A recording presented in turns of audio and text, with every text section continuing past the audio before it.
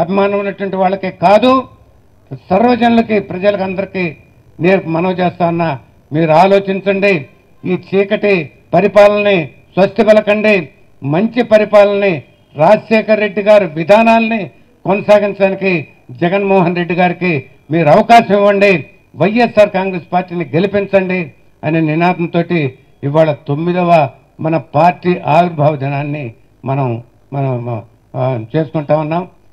ఈ సందర్భంగా అందరికీ కూడా నేను శుభాకాంక్షలు తెలియజేస్తాను.